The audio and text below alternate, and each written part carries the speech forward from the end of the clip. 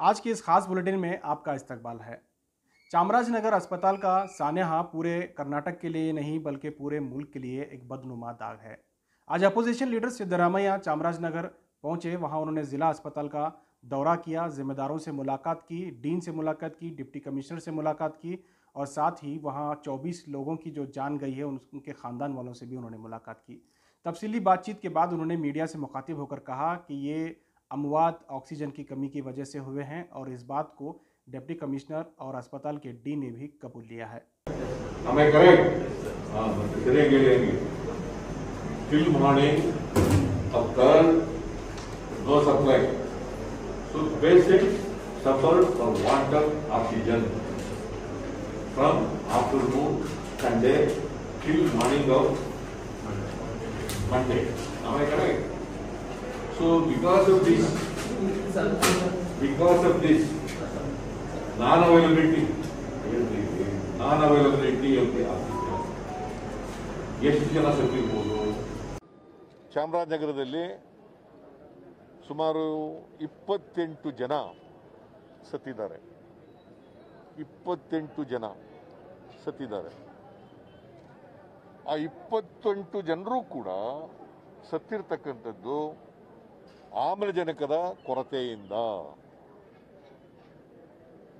ಸುಧಾಕರ್ ಹೇಳಿರ್ತಕ್ಕಂಥದ್ದು ಮೂರೇ ಜನ ಆಮ್ಲಜನಕ ಕೊರತೆಯಿಂದ ಸತ್ತಿದ್ದಾರೆ ಅಂತಕ್ಕಂಥದ್ದು ಶುದ್ಧ ಸುಳ್ಳು. ಇಲ್ಲಿಗೆ ಚಾಮರಾಜನಗರ ಡಿಸ್ಟಿಕ್ ಆಸ್ಪತ್ರೆಗೆ ಈಗಿರ್ತಕ್ಕಂಥ ರೋಗಿಗಳ ಸಂಖ್ಯೆಯ ಆಧಾರದ ಮೇಲೆ, ರೋಗಿಗಳ ಸಂಖ್ಯೆಯ ಆಧಾರದ ಮೇಲೆ ಎಷ್ಟು ಜನಕ್ಕೆ ಆಕ್ಸಿಜನ್ ಬೇಕು ಎಷ್ಟು ಜನಕ್ಕೆ ಐ ಸಿ ಯುನಲ್ಲಿ ಇರಬೇಕು ಎಷ್ಟು ಜನ ಜನರಲ್ ಇದರಲ್ಲಿ ಇರಬೇಕು ಬೆಡ್ನಲ್ಲಿ ಇರಬೇಕು ಇವನ್ನೆಲ್ಲ ಲೆಕ್ಕಾಚಾರ ಹಾಕಿದ್ರೆ ಒಟ್ಟು ಮುನ್ನೂರೈವತ್ತು ಸಿಲಿಂಡರ್ ಆಕ್ಸಿಜನ್ ಬೇಕು. ಪ್ರತಿದಿನ ಪ್ರತಿದಿನ ಮುನ್ನೂರ ಐವತ್ತು ಸಿಲಿಂಡರ್ ಆಕ್ಸಿಜನ್ ಬೇಕು. ನೂರ ಇಪ್ಪತ್ತಾರು ಕೊಡ್ತಾರೆ. ಆದರೆ ಭಾನುವಾರ ಎರಡು ಗಂಟೆ ಮೇಲೆ ಅಂದರೆ ಎರಡನೇ ತಾರೀಕು, ಭಾನುವಾರ, ಎರಡು ಗಂಟೆ ಮೇಲೆ ಇವರಿಗೆ ಸಪ್ಲೈ ಆಗಿರ್ತಕ್ಕಂಥದ್ದು ನೂರ ಇಪ್ಪತ್ತಾರು ಸಿಲಿಂಡರ್ಗಳು ಮಾತ್ರ. ಅಂದರೆ ಇನ್ನೂರ ಚಿಲ್ಲರೆ ಸಿಲಿಂಡರ್ಗಳು ಸಪ್ಲೈ ಆಗಲಿಲ್ಲ. ಇನ್ನೂರು ಸಿಲಿಂಡರ್ಗಳು ಹೆಚ್ಚು ಸಲಿ- ಸಿಲಿಂಡರ್ಗಳು ಸಹಾಯ ಆಗಲಿಲ್ಲ.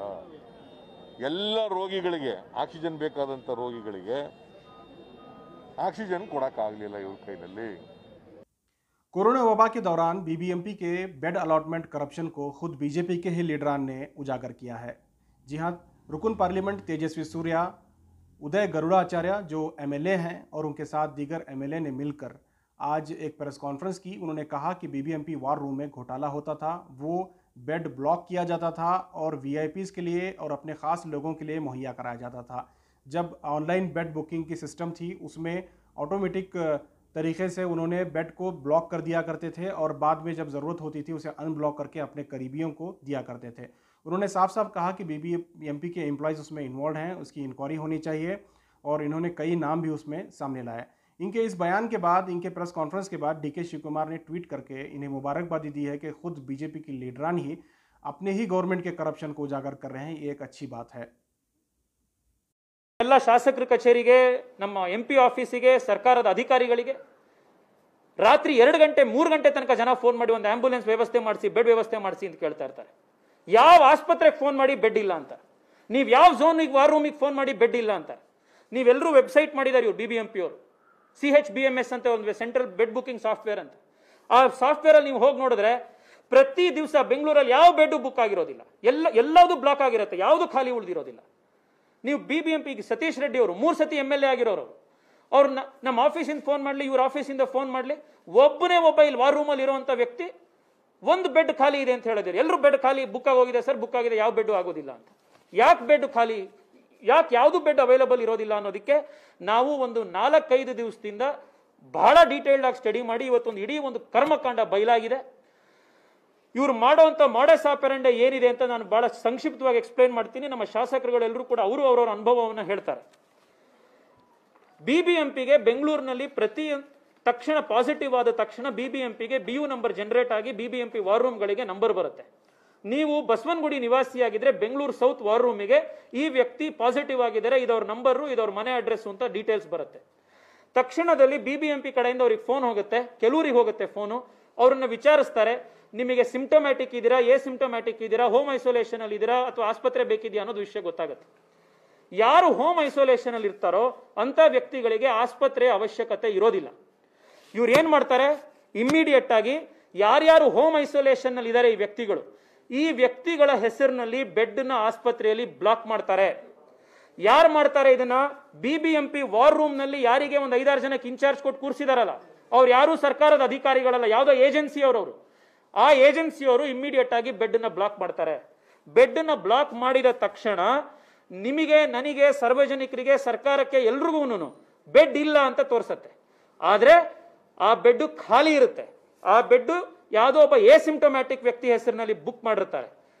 ಹನ್ನೆರಡು ಗಂಟೆಗಳ ಕಾಲ ಯಾವುದೋ ಒಬ್ಬರ ಹೆಸರಲ್ಲಿ ಬುಕ್ ಮಾಡಿ ಅದು ಆಟೋ ಅನ್ಬ್ಲಾಕ್ ಆಗ್ಲಿಕ್ಕೆ ಹನ್ನೆರಡು ಗಂಟೆ ಆಗುತ್ತೆ. ಉದಾಹರಣೆಗೆ ಎ ಅನ್ನೋ ವ್ಯಕ್ತಿ ಹೆಸರಿನಲ್ಲಿ ಬುಕ್ ಮಾಡ್ತಾರೆ ಬೆಡ್ನ. ಹನ್ನೆರಡು ಗಂಟೆ ಒಳಗಡೆ ಅವನ ಆಸ್ಪತ್ರೆಗೆ ಹೋಗಲಿಲ್ಲ ಅಡ್ಮಿಷನ್ ಆಗಲಿಲ್ಲ ಅಂತಂದರೆ ಆಟೋಮೆಟಿಕ್ ಆಗಿ ಅದು ಅನ್ಬ್ಲಾಕ್ ಆಗುತ್ತೆ. ಈ ರೀತಿ ಹನ್ನೆರಡು ಗಂಟೆಗಳ ಏನು ಸಮಯಾವಕಾಶ ಇರುತ್ತೆ, ಈ ಹನ್ನೆರಡು ಗಂಟೆಗಳ ಸಮಯಾವಕಾಶದ ಒಳಗಡೆ ಇವರು ಯಾರು ಇವರಿಗೆ ಹೊರಗಡೆ ವ್ಯವಹಾರ ಕುದುರಿಸ್ತಾರೋ ಅಂತ ವ್ಯಕ್ತಿಗಳ ಜೊತೆಗೆ ಇವರು ಅವರಿಗೆ ಬೆಡ್ನ ಅಲಾಟ್ ಮಾಡಿಕೊಡ್ತಾರೆ. ಯಾರು ಇಲ್ಲಿ ಎಂ ಎಚ್ ಇರ್ತಾರೆ, ಇಲ್ಲಿ ಯಾವುದೋ ಬೇರೆ ಅಧಿಕಾರಿ ಇರ್ತಾರೆ ಅಂತವ್ರ ಹತ್ರ ಕೊಡ್ತಾರೆ. ನಾನು ಕೇಳೋದು ಎಂ ಪಿ ಹೇಳಿದ್ರು ಅಂತ ಬೆಡ್ ಸಿಗಬಾರ್ದು.